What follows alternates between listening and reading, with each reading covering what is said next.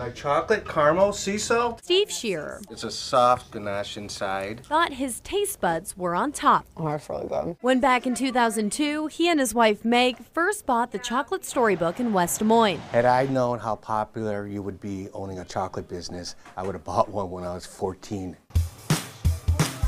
Chocolate covered Oreos, chocolate covered turtles.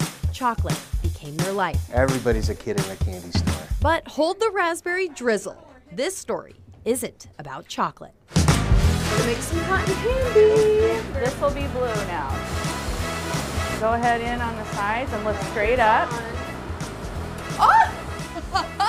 And from there, we put it on through the window where they have it up. The shop with chocolate in its name now can barely keep up with orders for something else. 3,000 tubs of cotton candy stuffed and stacked every day, sent out to some big names. This is our tube that was featured in Neiman Marcus. It's still for sale at Neiman Marcus. Meg Scherer's head first began to spin when she and Steve happened upon 20 cotton candy makers. We had no idea how to make cotton candy. I told Meg I wanted to sell them all.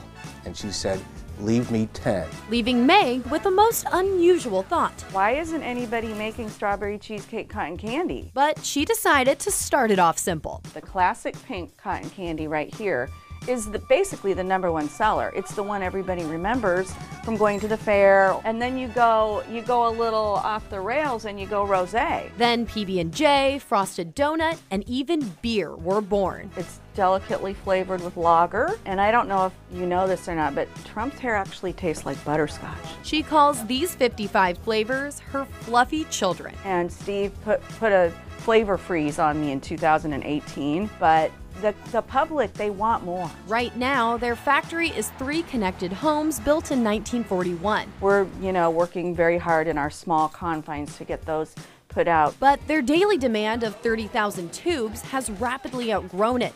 So they're building a new factory. We are selling it like crazy across the country.